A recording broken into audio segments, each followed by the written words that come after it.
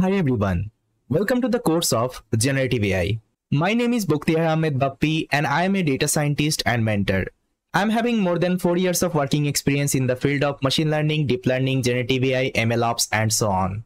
I have already worked with so many multinational company as a developer, even I also work with so many edtech company as a mentor. I have also taken lots of batch related generative AI, machine learning, deep learning, computer vision, natural language processing and so on. So throughout the entire course, I'm going to be your mentor. So as I already have some experience from the industry, so in this particular course, I'm going to share my knowledge and experience with you. So in this course, we'll be starting with the very basics concept of generative AI and we'll be completing till advanced part of the generative AI.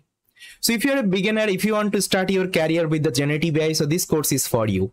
I have designed this particular course in a such a way so that anyone is coming from any kinds of domain, they will be also able to understand. So if you're from non-tech background, if you're from tech background, it doesn't matter. So if you're interested in generative AI, only you just need to start with this course. Everything I will take care. Apart from the theoretical understanding, I'm also going to show you lots of practical in this particular course. We'll be doing lots of hands-on in this particular course. We'll be solving different different problem statement in this course so that your understanding would be more clear. So if you want to connect me, so here I've already added my social media links. You can connect from here. And in the next video, I'm going to show you the course content, like what are the things we're going to cover uh, throughout the entire course. The entire curriculum I'm going to discuss. With that, thank you so much for starting with this course and I will see you next time.